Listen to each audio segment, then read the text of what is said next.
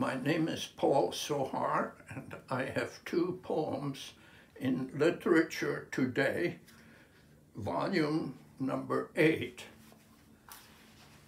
Uh, the first one is in memory of my daughter who passed away a short time ago.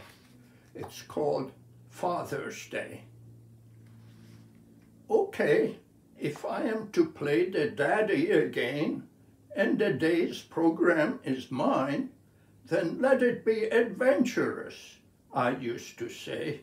Let's go swimming in Crater Lake, if weather allows. If not, let it be educational. Let's visit a historic building or a museum or a natural wonder like I planned for today. Let's visit Crystal Caves in Hellertown. I know you've been there before, a couple of times with the group, but you never got past the gift shop, and now we have a chance to see the whole place and learn about its wonders.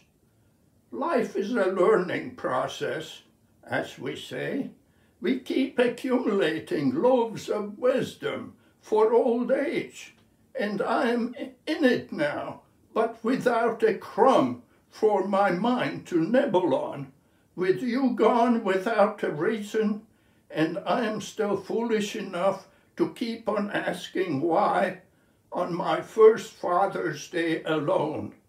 An abandoned natural wonder, overgrown with memories. The second book in this, uh, second poem in this book is the sun rides a bicycle.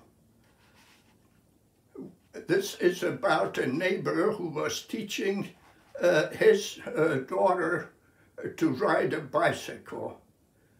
When the sun visits our dead-end street, it never fails to bring a bicycle with it, a small one, learning to roll. Or is it the road that feels an itch and shakes a bicycle out the folds of its blacktop skin. Wheels rolling, flickers of spokes and silent speed. There's always a t-shirted, lean-muscled beard running after them, but he doesn't catch up until the road shakes the rolling loose tipping the bike into a cripple, into a pile of tears and bruises, plus the beard cursing the sun for failing to roll along. But when the next time the sun decides to take a stroll on our street, the same wheels come out to greet it with the same lean, t-shirted beard running after them. Thank you.